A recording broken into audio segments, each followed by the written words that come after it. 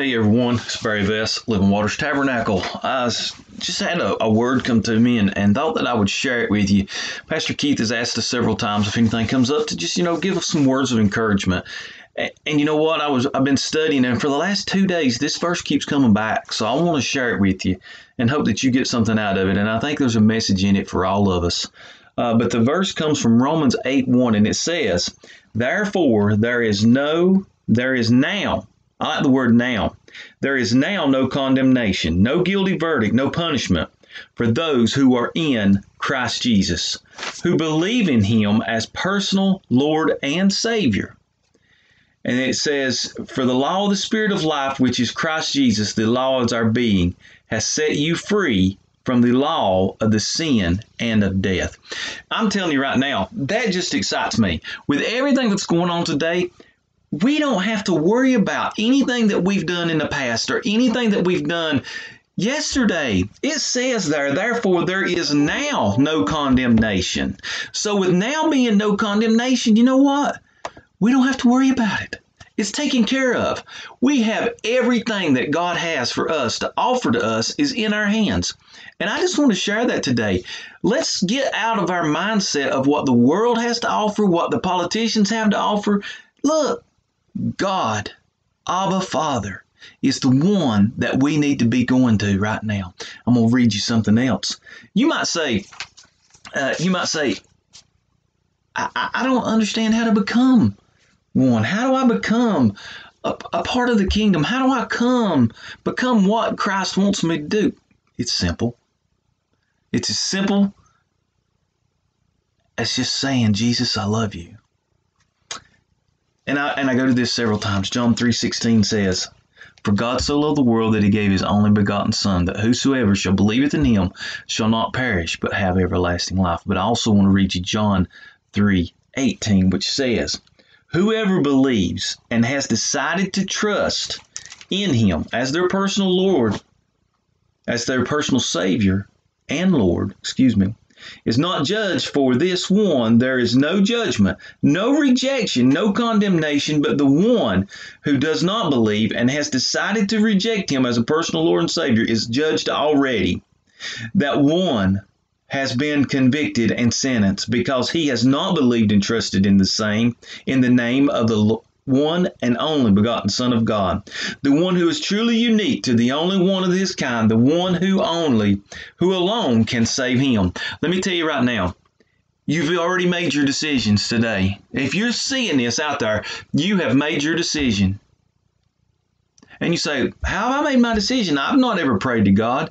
Well, unfortunately, John 3.18 says you have made your decision. But I have the best news ever. God says, Come to me, believe that I was born of a virgin, that I have everything to you, for you, to give to you. There is therefore, once you do all this, there is therefore no condemn now, no condemnation. Now, no condemnation. And you say, you might say, well, you know what? When the Bible was written, things weren't going on like they were today. No, actually, you're right. They it was not the same.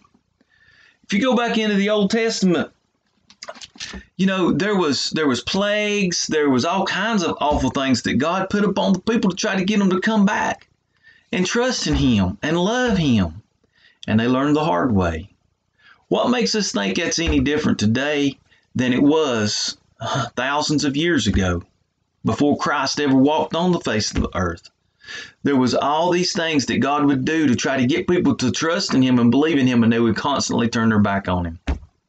I'm telling you today, don't put your trust and your faith in mankind in this world. I have the best solution for you, and I have the best solution for your family. You may say, We're, we're starving for something. Now, I'm not talking food, I'm talking spiritually. If you're wandering around this world saying, Hey, I don't know what I'm going to do, I'm so scared. I'm so nervous. I'm scared of everything around me. I need somebody to protect me. I need somebody to take care of me. I'm telling you right now, Jesus Christ, our Lord and Savior, is the one that can do that for you. I'm a little bit excited this morning. I was reading this and I love that verse. Therefore, there is now, now, right now, no condemnation. Once you give your heart to God and you give it to Him and you try to live for Him and you constantly are living for Christ Jesus, He's going to give you, there will be no more condemnation on you. One more verse I want to share. And I want you to understand that this verse is a very, very important verse to what I'm trying to say today. It goes back to what I mentioned a minute ago when it says that, you know, Jesus was different. You're right. The, or the world was different. Jesus has not changed, but the world changes. But I want to tell you what it says. And if you go to Hebrews 13 8, it says, Jesus Christ is eternally changeless and always the same yesterday, today, and forever. It doesn't mean it's changed. He is always there for us. He will always be there for you. So I ask you today, maybe these words will help you. You know what? They say all this virus stuff that we've got going on is, you know, they're wanting to open up the country right now. I'm telling you right now, the only thing you need to do is open up your heart to Christ.